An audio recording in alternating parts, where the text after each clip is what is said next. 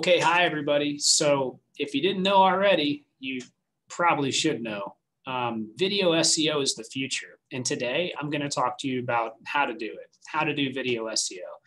I think you're really going to enjoy this. I've put a ton of time into this. I'm going to try to connect all the different channels together. And uh, wow, I got a lot of Ignite visibility going on right now. Uh, but that's okay, right? That's what I'm all about. So let's go ahead and dive into this presentation. So video SEO is the future. Here's how to do it. I'm going to talk a little bit about video SEO in general, but I'm going to talk a little bit about uh, social media as well. And this is going to be a great class. I'm going to try to get through all this in about 15 or 20 minutes. First thing, uh, you know, I'm John Lincoln. It's a pleasure to meet you. I love digital marketing. I like to make content. I like to surf, skate, and exercise. Love my family. Love to help others. And I'm here to serve um, others through digital marketing. That's what I enjoy doing. And I'm excited to be doing that for you here today. So, first thing, why video? Well, video is served in search results now more than ever, both mobile and desktop. It can be used to rank your HTML pages higher inside of Google. It can be shown in the normal search results, and it can also rank really well in YouTube. And if you look on the right hand side, you can see some examples of that. That's one video that I did on SEO reporting that's had people coming in forever from SEO reporting. And it's just a really, really powerful system. It ranks in all the different areas. And that's not just in these three that I'm showing here. So today, I'm going to talk about how to determine the right content to target, how to get videos to rank in Google and YouTube, how to promote your videos to customers. I'm not going to go super deep into each one, but I'm going to give you the foundation of what you need to know. So first, how do you determine the right content um, to create when you're just getting started in creating video? Well, the first thing is you need to figure out who your customer is, where they spend time online. You need to think about what do they search for at the beginning, the middle, and the end of the journey. And what content do they like looking for when they're not looking for your services? That's going to give you a great idea of what they're looking for in the that upper funnel area before they're even looking for your actual product or service. So this is really important. I'm going to go deeper on all this. One of the things I love is the Google Analytics data. If you don't know and you go inside of Google Analytics, they're going to show you all the different things that they're looking for your customer as far as people come to your website. But also, you know, the benchmark report's great. It's going to show you where you are versus all your competitors. But in addition to that, when you look at social media profile data, they give you great demographics. They give you great information on the type of content that your consumers are, are liking the most. And then in addition to that, I really enjoy Pathmatics, SimilarWeb, and SpyFu. Very, very powerful tools. And then vidIQ. All of these together are going to give you an amazing look at all the different types of places your customer is and some of the content that they're looking for. But I don't want you to just stop there. Um, and really, what I'm asking is that you review all the data for all these different tools and you use this in, in your strategy for who you're going to be targeting and where. Also, I highly recommend you look at SEMrush. I'm going to show you what this looks like in a minute the Google Questions Hub, which is a newer thing that came out in January of 2021, tells you all the different questions that people are asking that haven't been answered yet. Also ask, answer the public, kind of the same thing as, as SEMrush, but other great data sources that will tell you what people are looking for.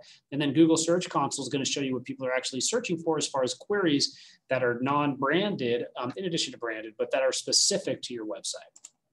So when we look at SEMrush, really great. Put in a term like bikes. It tells you all the different questions that people are asking around that, all the related keywords, all the keyword variants. What you want to do is you want to get a list of all the most important questions that are going to be upper funnel, but also important for your brand, right?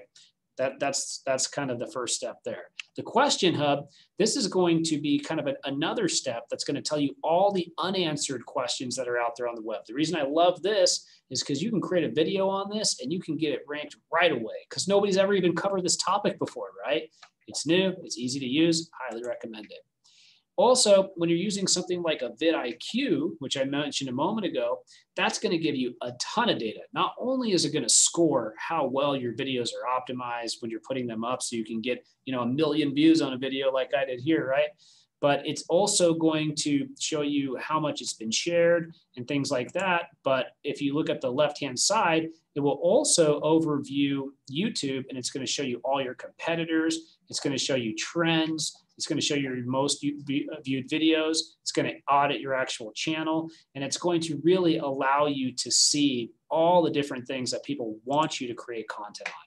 For example, right here, you can see all the different keyword opportunities that are out there for me to create a video on so that people can uh, search, find my videos. I can get more exposure. You can put in any keyword that you want for yourself. When you look on the right hand side, you can see some of the top terms that people are searching for when they're coming in and looking at the Ignite Visibility YouTube channel that I've been working on for a while. Highly recommend vidIQ. So moving this a step further, you know, what you want to do is you want to look at the Google Analytics interest reports. You want to look at influencers in your industry. You want to look at customers' favorite media sites. You want to ask your customers. You want to know what's popular on social media. And then once you've done all that, you've really figured out the entire media landscape. You know, everywhere your customer is, you know, all the different topics that are out there. And then it becomes time for you to start thinking about what you need to create for each individual website, right? So you're going to be considering things like the video length, the video size, where the user is viewing the video, the nature of the website content, how the algorithm ranks the content on the site, and does the content live forever or is it short lived? This is actually super, super important. Okay. So I want you to think about this for a second length, size, where the user is viewing, the nature of the website content, how the algorithm ranks content, and does that content live forever or is it short lived? The thing is, so many people, they don't think about this stuff and they just spray videos out there. I did that for a very long time. I still do a little bit here and there, and uh, I don't get as good a result as I could. So, the best thing to do, if you can, is to actually create unique videos for each site.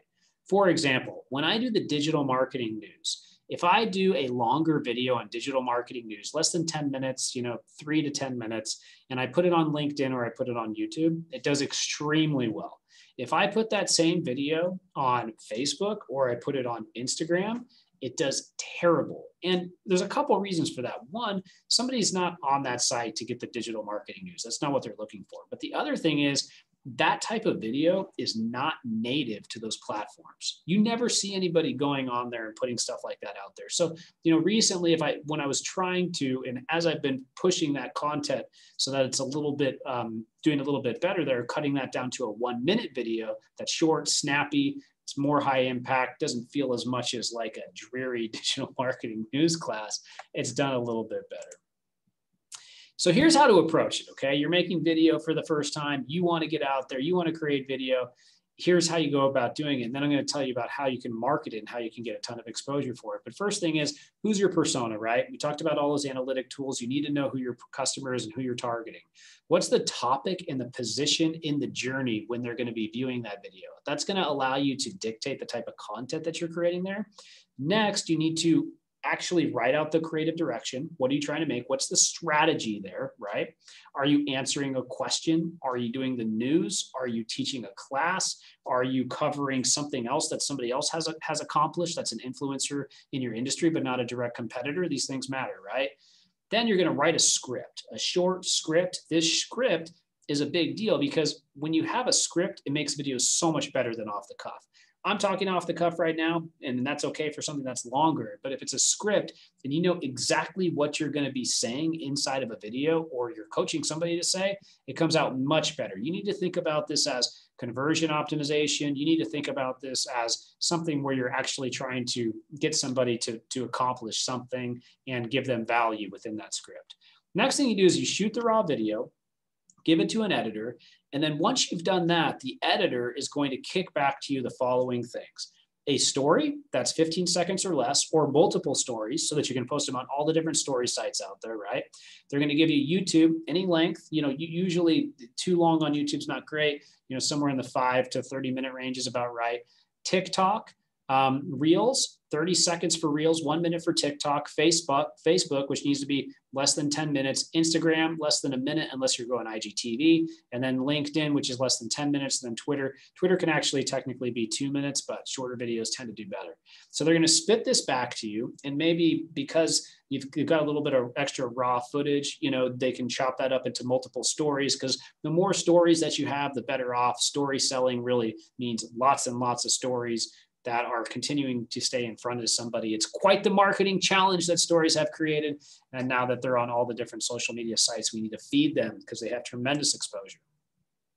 Now, once you have all that, you know, you want to think a little bit about your advertising strategy. I think a lot of people think about advertising strategies as not being a good thing around organic social media or video creation, and I strongly disagree. Why put in all that time and not use them as part of your ads, right?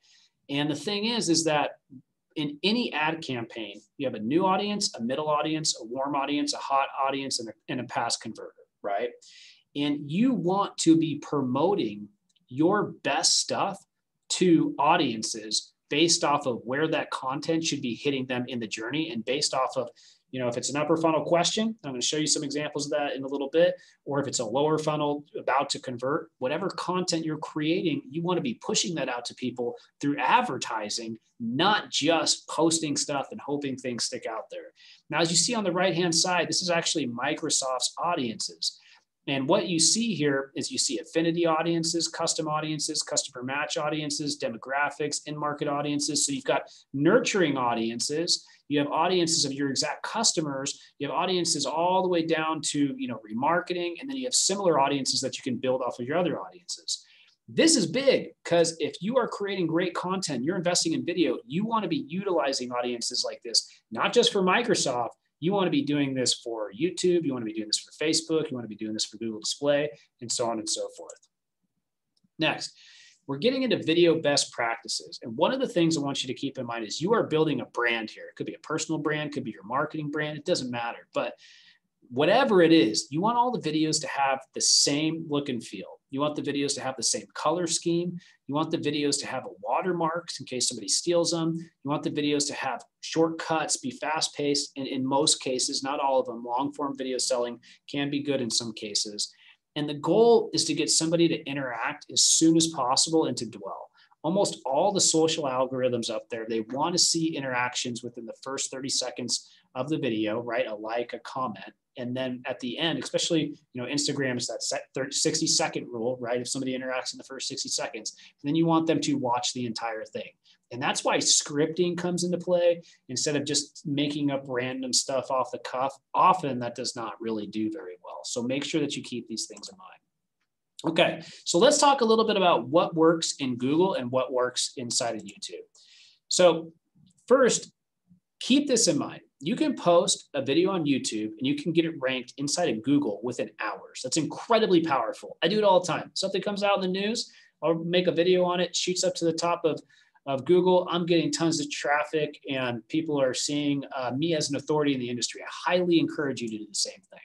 So here's a couple examples, and this is more of an evergreen piece of content. But if you were to search for SEO 2021 webinar, you're going to see that we've got the number one spot. We've got that, you know, little context thing where you can jump to a specific part in a video you can see that the thumbnail is ranking at the top of mobile. And, and, and this is something that was also turned into micro clips for social media, a podcast, and also used for a lead generation funnel. So this webinar, this webinar went on a podcast, this webinar went on YouTube, this webinar went um, inside of Google, it's ranking inside of mobile. It was used to create a blog post and, and turn into micro clips for all the different sites out there. So really, really powerful. So if you want to rank, on YouTube and Google, the more popular your channel is, the better it's going to rank. The less competition, the better chance you rank. The more on theme your channel is, the better chance you rank. You can't be talking about everything out there in the world. You got to stay on theme, right? If it's a new topic, the quicker you get on it, the better chance you rank. The more niche the keyword or the hashtag is, the better chance you rank. The more optimized your page and video are, the better chance you rank. The more comments, likes, and embeds and views you get, the better chance that you rank. These are all things that you want to be thinking about. And just for the individual video optimization, I highly recommend video, vidIQ or use a template to kind of go through that process. I'll talk about that more in my next slide. But I want everybody to realize when you do this, you see a massive rise and if you look here over the last couple months of video optimization, and we look at the Search Console report, that's up to about a quarter million uh, impressions that's happened there and driving significant amount of traffic as well. And you know, we have seen that about 50% of buyers now check YouTube before they even make a buying decision to verify a product or a service. So it's a place that you actually have to be at this point if you want to win. Here's a nice checklist for you as you start considering doing YouTube optimization. First thing, choose a keyword. You can use SEMrush or vidIQ for that. Then you've got to shoot the video, send the video to a writer to create a blog. You're going to upload that video to YouTube, and then you're going to optimize the following elements. You're going to do the title, 60 to 70 characters, a description, 5,000 characters. You're going to do a thumbnail, which is the most important thing, a thumbnail that boom, just pops right out at you, makes it so that it cuts through the clutter.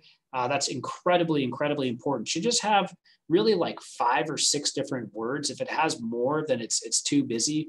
Five or six high impact words that people can see in the feed there.